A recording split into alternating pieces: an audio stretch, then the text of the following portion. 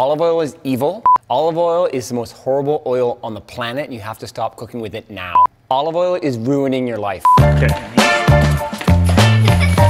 Actually, olive oil is an awesome oil.